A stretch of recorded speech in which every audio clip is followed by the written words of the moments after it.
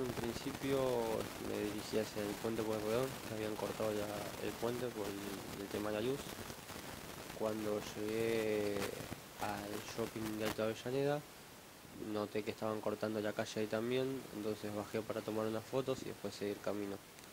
Charlé con los gendarmes, me contaron de esa, de esa situación y saqué, tomé un par de fotos y cuando estaba guardando el equipo a la media hora más o menos alrededor de las 9 de la noche aparecieron tres camionetas de gendarmería. La foto la recuerdo, ellos habían agarrado a uno, lo habían puesto sobre la camioneta, saqué dos fotos y gendarmería me empezó a increpar que por qué tomaba fotos, de por qué los escrachaba y en ese momento me asusté, salí corriendo.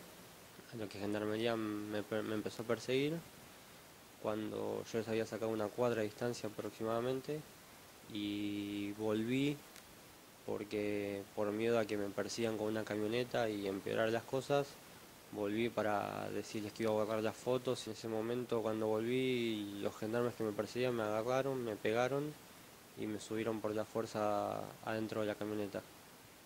Cuando me subieron dentro de la camioneta me pusieron la cabeza entre las piernas y me taparon la, la cara con la remera. Tuve alrededor de unos 40 minutos creo arriba de la camioneta. Me amenazaron de muerte, de que eh, me preguntaban por qué yo los había ido a escrachar, por qué, de qué me, para qué medio trabajaba. Yo les explicaba que soy freelance, que no trabajo para ningún medio en particular y que, no había ido a escracharlos. Eh, me, me, siguieron amenazando con que iban a matarme, me iban a tirar al riachuelo y en un momento paramos, me bajaron de la camioneta y parecía, el lugar parecía un descampado, era todo tierra, había piedras, no, yo no sabía dónde estaba porque tenía la cara tapada y me golpearon, me metieron al piso, me golpearon, me levantaron y me hicieron borrar toda la foto. En ese momento un gendarme me golpeó en la, en la zona de la nuca y yo me y me mareé un poco, me caí al piso y me ahogué. Cuando me ahogué los gendarmes uno de ellos me tiró un inhalador que yo tenía dentro del bolso, al piso al lado mío. Y bueno, en ese momento me di cuenta que, que no me iban a matar, porque hasta, ese momento yo pensé que me iban a matar. Vieron a subir a la camioneta y estuvimos otra vez, habíamos estado otros 40 minutos más o menos, pues yo habré estado en total una hora y media, una hora 40 minutos con secuestrado. Me pasearon otra vez, me empezaron a amenazar con que si hacía la denuncia o si aparecía una foto en algún lado, me iban a venir a buscar a mi casa. Me hicieron bajar, caminar aproximadamente unos 100 metros, me dijeron que me tira al piso y cuando me tiré al piso sentí una presión arriba del cuerpo como si me estuvieran pisando. Me dijeron que encuentre hasta mí y que espere eh, para levantarme. De repente escuché silencio, no los escuché más, no, no, me, no sabía si se habían ido o si seguían ahí alrededor mío empecé a contar en voz alta, cuando llegué a 200 eh, me saqué la remera de la cara porque me estaba asfixiando y ahí me di em, miré para mis alrededores y me di cuenta que lo que tenía encima era una rueda de camión. Me habían dejado tirado detrás del predio de Independiente en Wilde.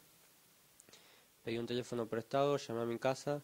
Nosotros nos enteramos ese día a la noche. Nos llamaron para, primero llamó él, después no lo podíamos ubicar y después nos llamaron de una remisería de Wilde para avisarnos que estaba golpeado ahí, que lo vayamos a buscar.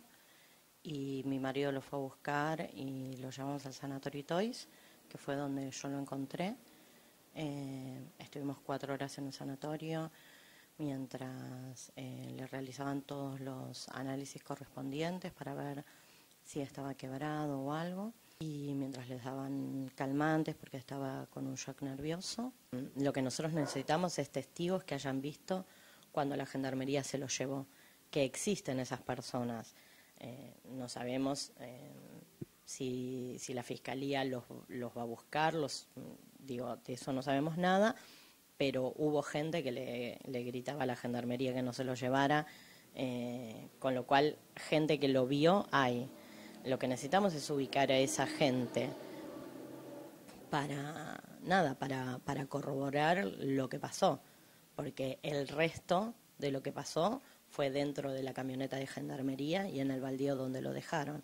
Entonces nuestra prueba es eh, demostrar que la gendarmería lo subió a la camioneta y se lo llevó de ahí en la camioneta y él no llegó nunca a ninguna comisaría. Yo creo que lo peor que podemos hacer es tener miedo. Digo, yo creo que vivimos en democracia y que esto tiene que, ser y creo debe ser una excepción.